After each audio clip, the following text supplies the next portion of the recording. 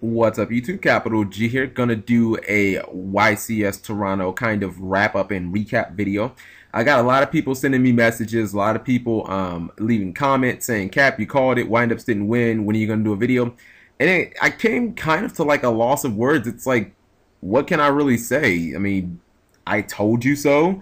Uh, uh, quite frankly, the fact that windups didn't win this event I can go no higher than a one on my shock meter because I told you guys they wouldn't win because I predicted it and it was a perfect storm for that deck not to be successful on this particular day. Everything kind of came to fruition. And if you look at these top 32 deck lists, like what singular attribute do you notice in all of them? Like Max C was everywhere. I mean, six samurais, uh, I'm Six Samurais, Heraldic. I'm pretty sure that Robbie was running his in gadgets. Like all, even all the random decks that you saw, top 32, all of them were running Max C. There were so many decks side decking three copies of Rivalry, three copies of Gozen Match. It's like windups had to run the gauntlet, and then they had to run the gauntlet of everybody being everybody being so prepared for the deck that I, I really couldn't see the deck overcoming that. Like you already have to play every single obscure matchup you can think of.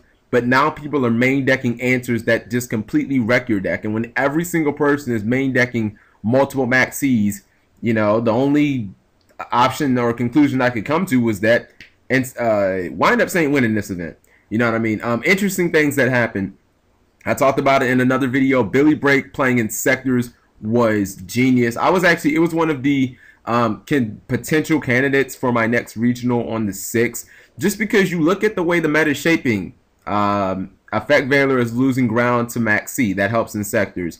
D Prison and Mirror Force are being ran in twos and threes. That helps Insectors. Thunder King Rai-Oh is probably one of the most popular offensive opening plays, as opposed to Snowman Eater, which is one of the most popular defensive plays again, Insectors rape those. Insectors wreck all those things because Hornet is not unaffected by any of those options in any of any of those situations that I just named. So you know, uh, obviously Insectors. I mean, they, the deck doesn't even really have to be good. It's more or less just matchups. Uh, I'm really interested not only to see the Heraldic. I think I'm most interested to see Robbie's deck because I'm probably gonna make just a video on his deck and why I think it did well. But if he really ran the deck like I think he did, then oh my goodness. I mean that that that was just a clear meta pick and it was an absolutely beautiful one.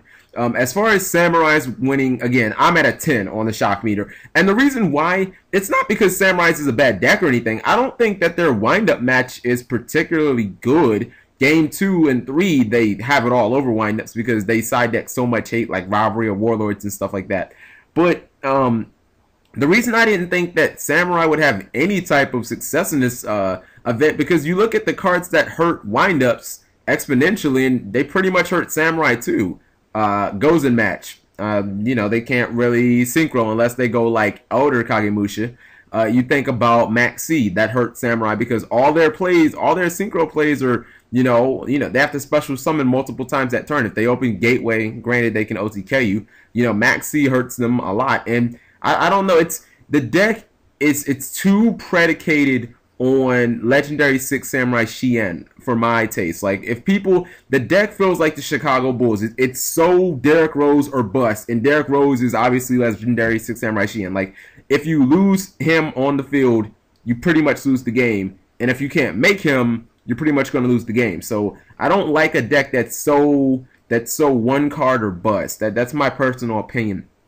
I don't think samurais are a very good pick moving forward unless you look at you know the specific event and you you see that you know there are a lot of decks like Dark World uh, or Dino Rabbit that might be hurt by that, but I still really don't like the deck in this meta. Um, it was interesting to see that Chaos Dragon still topped. Uh, I still don't like the deck as much as other people. Quite frankly, I think I'd rather run Agents because it seems like it has a little more control over its plays. But um, yeah, this was definitely an interesting event. Um, definitely big ups to Heraldic. I've never played the deck personally. It is something that I would consider testing as soon as the guy's deck list comes out. But uh, let me know what you guys think. Again, the wind up, the wind up prediction, wind up's not winning. It wasn't really that shocking. I mean, all you had to look at was just how the format was shaping up and you know, previous information and results that we've had from YCSs, and it was pretty obvious that everybody and their mama was just going to try and beat windups. And the deck wasn't that much better than everything else to where it could handle that. So, sorry guys. Thank you guys for watching as always.